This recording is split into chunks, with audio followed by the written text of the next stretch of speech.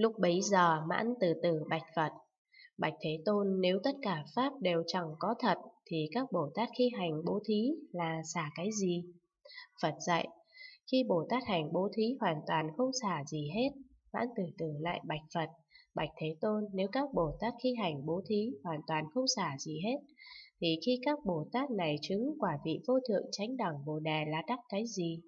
Phật dạy, Bồ Tát khi bố thí như vậy, đối với tất cả Pháp hoàn toàn không giả gì hết, nên khi chứng quả vị vô thượng chánh đẳng Bồ Đề, đối với tất cả Pháp cũng không có đắc điều gì, như khi các Bồ Tát hành bố thí, đối với tất cả Pháp hoàn toàn không có sự tổn hoại, nên khi Bồ Tát chứng quả vị vô thượng chánh đẳng Bồ Đề, đối với tất cả Pháp cũng không có lợi ích. Hai môn tổn ích chỉ là tướng đối đãi nhau mà thành lập vậy. Lại nữa, mãn từ từ như khi Bồ Tát hành bố thí, biết tất cả Pháp đều như huyễn hóa không thật có thể xả, như khi Bồ Tát này chứng quả vị vô thượng chánh đẳng Bồ Đề, biết tất cả Pháp cũng như huyễn hóa không thật có thể đắc.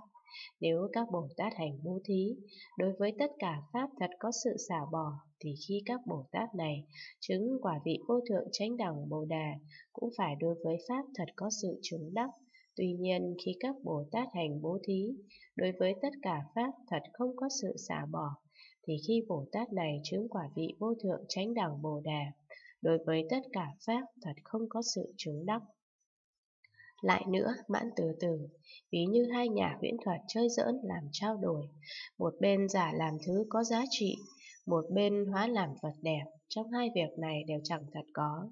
Bồ Tát khi hành bố thí cũng như vậy, chẳng thật có vật xả bỏ như huyễn hóa, nên khi chứng quả vị vô thượng chánh đẳng Bồ Đề, chẳng thật có pháp đắc như huyễn hóa.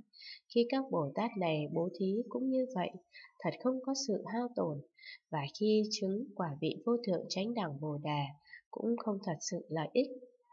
Các Bồ Tát này khi hành bố thí, tuy thật giống như có hao tổn nhưng thật sự không hao tổn, nên khi sẽ chứng quả vị vô thượng chánh đẳng Bồ đà tuy giống như có lợi ích nhưng thật không lợi ích. Cũng như nhà huyễn thuật kia xả bỏ thứ giá trị huyễn, tuy giống như có hao tổn nhưng thật không hao tổn. Bồ Tát khi hành bố thí cũng lại như vậy, xả bỏ vật chẳng thật, tuy giống như có hao tổn nhưng thật không hao tổn. Như nhà huyễn thuật kia hóa được vật đẹp, tuy giống như có lợi ích nhưng thật không lợi ích. Khi Bồ Tát chứng quả vị vô thượng chánh đẳng Bồ Đề cũng như vậy, tuy giống như có lợi ích nhưng thật không lợi ích.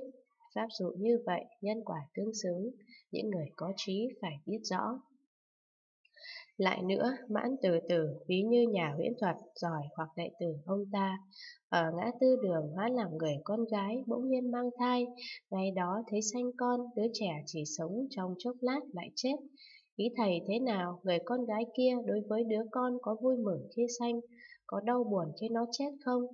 Mãn từ từ bạch Phật, bạch Thế Tôn, nàng kia và con của cô ta đều là huyễn có, thật không có sanh tử, thì ai đối với ai mà có thể sanh buồn vui? Phật dạy, đúng vậy, đúng như lời ông nói, các Bồ Tát cũng lại như vậy. Khi hành bố thí không có xả bỏ, không có tổn hoại, nên khi chứng quả vị vô thượng chánh đẳng Bồ Đề không có chứng đắc, không có lợi ích. Cho nên khi Bồ Tát hành bố thí, tuy có sự xả bỏ nhưng không có ưu phiền. Và khi chứng quả vị vô thượng chánh đẳng Bồ Đề, tuy có sự chứng đắc nhưng không vui. Vì biết sự xả bỏ chứng đắc như huyễn hóa, lại nữa mãn từ từ, ý thầy thế nào? Thầy có cho Như Lai đối với các thiện pháp có lòng mong muốn nhiều không? Mãn từ từ thưa, Bạch Thế Tôn không có, Bạch Thiện Thệ không có. Vì sao? Vì sự chứng đắc các pháp của Như Lai đều không, Như Lai có chứng các pháp cũng là không, vì trong không hoàn toàn không có mong muốn và sự mong muốn. Phật dạy, Đúng vậy, đúng như lời Thầy nói, như lai quán tất cả Pháp đều không, trong thiện Pháp cũng không có mong muốn lớn, như ta ngày nay đối với tất cả Pháp hoàn toàn không có lòng mong muốn. Ngày xưa khi làm Bồ Tát, tuy hành bố thí nhưng đối với các Pháp hoàn toàn không có sự xả bỏ, thấu rõ các Pháp một cách rốt ráo không, chư Phật Thế Tôn đối với tất cả Pháp không ái không giận. Vì sao? Vì thông đạt các Pháp đều chẳng thật có bản tánh là không, tịch tĩnh nên ái, giận chấm dứt. Mãn từ từ liền bạch Phật, Bạch Thế Tôn thật kỳ lạ, Bạch Thiện Thệ thật hy hữu. Các đại Bồ Tát đối với lý thể pháp tánh có sự xả bỏ. Như vậy, như vậy hiểu rõ đều không, hư không chẳng có thật, tánh không vững chắc, không có hoạt động tự tại và không sự chấp trước.